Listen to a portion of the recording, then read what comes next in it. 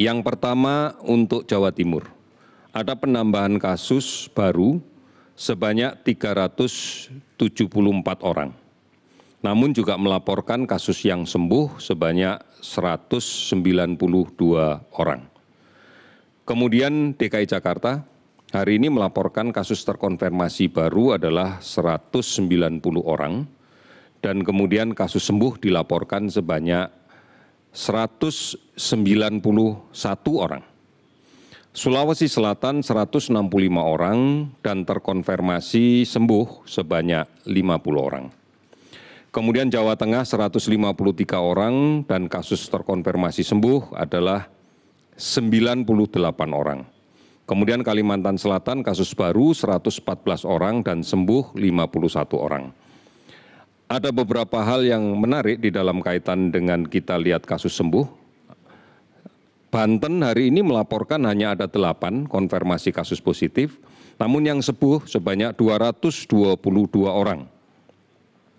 Kemudian kalimantan timur juga demikian hari ini melaporkan ada enam kasus baru namun ada empat belas yang sembuh. Kemudian rio kasus baru hanya satu orang namun dilaporkan konfirmasi sembuh ada sepuluh orang kalimantan utara hari ini tidak ada kasus baru namun dilaporkan ada enam kasus yang sembuh.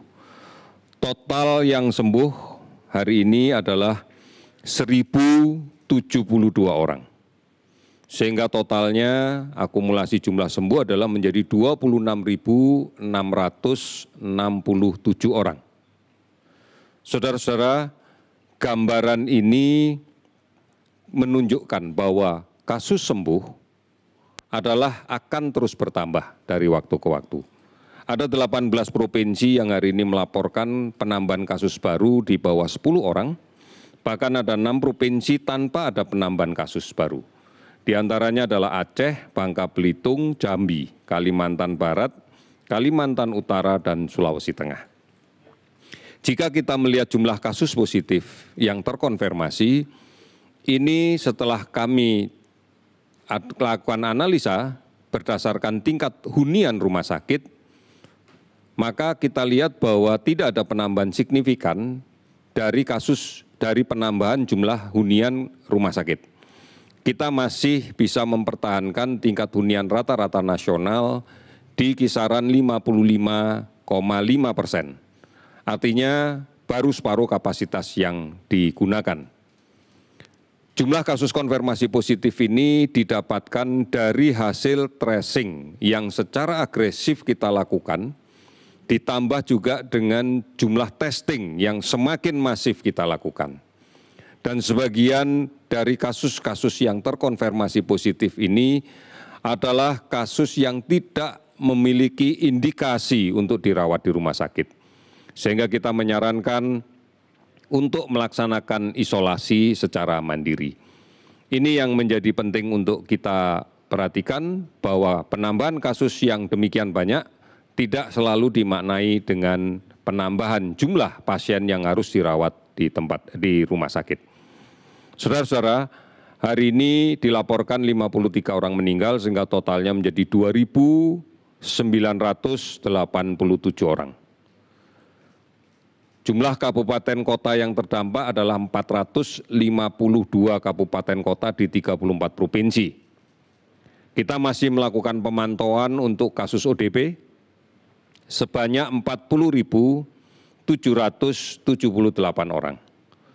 Sementara pasien dalam pengawasan yang terus kita lakukan pengawasan ketat adalah sebanyak 13.359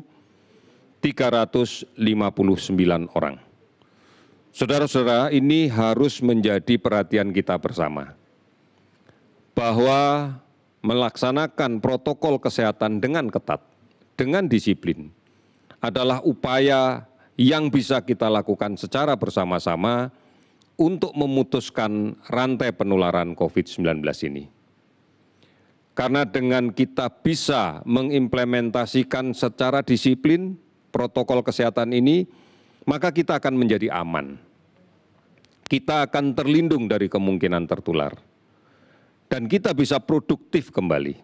Kita bisa melaksanakan aktivitas yang produktif. Inilah yang kemudian dalam istilah yang sering digunakan atau didengar oleh masyarakat sebagai new normal. Ini bukan dimaknai bahwa kita sudah normal kembali.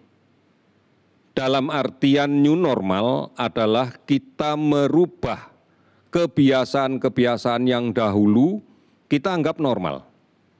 Karena saat itu ancaman COVID-19 belum ada. Jika kita memahami betul bagaimana mekanisme penularan COVID-19 ini, yang ditularkan oleh orang yang positif di dalam tubuhnya dan kemudian batuk, bersin, berbicara, sehingga kemudian keluar droplet atau buliran-buliran kecil yang menyebar ke sekitarnya dan terhirup orang lain karena tidak menjaga jarak dan tidak menggunakan masker, maka besar kemungkinan orang itu akan tertular. Sehingga sekarang yang harus kita lakukan di dalam merubah kebiasaan kita yang dahulu kita katakan normal, sekarang tidak bisa lagi kita laksanakan. Oleh karena itu, perlu perubahan adaptasi kebiasaan yang baru yang menjamin kita aman dari penularan COVID. Di antaranya menjaga jarak. Selalu diupayakan menjaga jarak fisik antara satu dengan yang lainnya setidak-tidaknya pada jarak lebih dari satu meter. Kemudian menggunakan masker. Ini menjadi penting untuk melindungi kita dari kemungkinan terpapar secara langsung dari droplet, dari percikan ludah orang yang positif. Kita tidak pernah tahu pada saat berada di tempat publik, di luar rumah, kita tidak pernah tahu kita akan ketemu dengan orang yang membawa virus ini atau tidak. Oleh karena itu, menggunakan masker menjadi sesuatu yang penting, baik untuk orang yang belum sakit, dalam artian melindungi terhadap kemungkinan tertular, ataupun orang yang sakit tetapi tidak menyadari bahwa dirinya sakit, untuk juga membatasi kemungkinan percikan droplet dia ke lingkungan sekitarnya. Inilah yang disebut dengan kebiasaan baru. Yang dulu mungkin jika kita ketemu dengan kawan yang baik, kita berjabat tangan, kita terbiasa untuk jaraknya dekat, berbisik-bisik mungkin, sekarang ini semuanya harus kita hindari. Karena ini adalah jalan untuk kemungkinan tertular.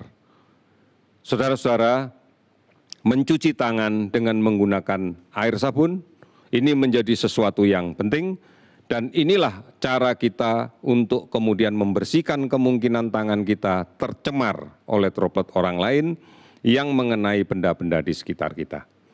Kita menyadari betul pada kondisi tertentu kadang-kadang menjaga jarak menjadi sesuatu yang sulit.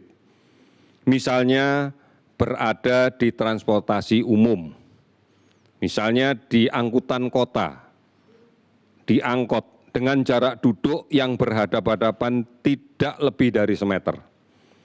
Di saat inilah maka segera gunakan masker, cuci tangan dengan menggunakan sabun dan air yang mengalir. Kebiasaan ini harus menjadi sesuatu yang bisa kita budayakan di tengah-tengah lingkungan keluarga kita. Oleh karena itu, orang tua adalah teladan bagi keluarganya yang mengajarkan secara terus-menerus dan penuh kesabaran kepada anak-anaknya, agar ini menjadi budaya yang baru, sehingga kita bisa terhindar dari penularan COVID-19 ini.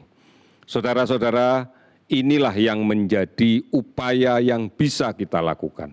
Semua bangsa di seluruh dunia pun melakukan hal yang sama, karena permasalahan ini belum bisa kita atasi dengan memberikan kekebalan buatan melalui vaksin.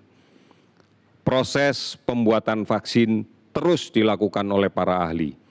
Sampai saat ini masih belum kita temukan. Oleh karena itu, mari kita harus aman dari COVID dan produktif. Tidak ada pilihan yang lain. Karena inilah yang kemudian bisa kita gunakan agar kehidupan ini tetap bisa berjalan secara wajar. Kita pasti bisa melakukan ini. Terima kasih, selamat sore.